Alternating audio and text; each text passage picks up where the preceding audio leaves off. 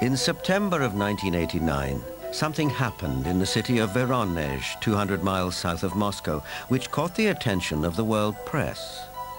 For several weeks, strange lights were seen over the city. Then on September the 27th, it was reported that a spacecraft landed in one of the city's public parks, from which three alien giant figures emerged.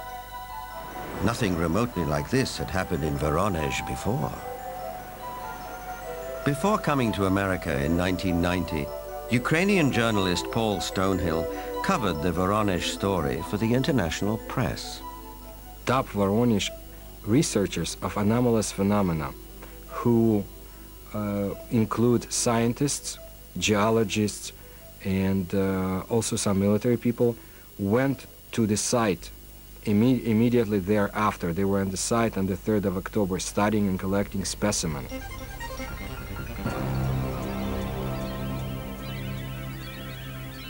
The encounter became a media sensation on national television and in the international press. Не было, ну уже хотя бы потому, что не было до сих пор в Воронеже событий, подобных тем, а... Drawings of the landings by children who were there capture the event vividly. It attracted the attention of the media around the world because it was effectively endorsed by TASS, the Soviet news agency, who up until that time had certainly not given any credence at all to this kind of story. They had the chance to talk to many eyewitnesses, adults as well as kids, uh, policemen, school teachers, uh, students, scientists who had uh, witnessed similar or even differently shaped UFOs. The underlying theme was that giant-like beings exited from strange-looking craft, did some research throughout Voronezh, and were able to get back to their craft and fly away. For once we had a genuine large number of people all correlating with one another describing the appearance of these giants. So it was not a case of you simply believe a witness or you don't. Here you couldn't fail to believe them because there were so many of them talking in concert. I was standing not far from the main road of the South Park and I saw this flying object at an approximate height uh, 200 of 250 meters. It stayed at the same height and did not move horizontally.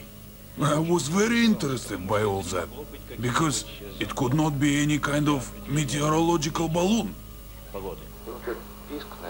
There was a squeaking sound. Perhaps some drilling tool was operating like it was boring a hole in the ground.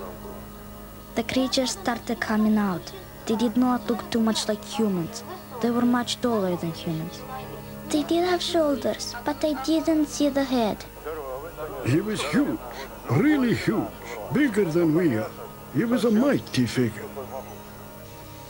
In 1989, Sergei Makarov was one of the school children who was in the Voronezh Park.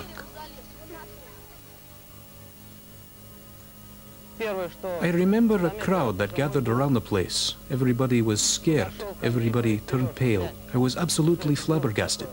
Denis Mozhenko was also one of the boys in the park on that day in September 1989. I saw some traces there, and also a strange man. Outwardly, he looked like any other man, only he was huge. A moment later, he suddenly disappeared. I had no doubt that the UFO and the giants existed, because I saw them. But sometimes when I look back, it seems sort of like a fairy tale.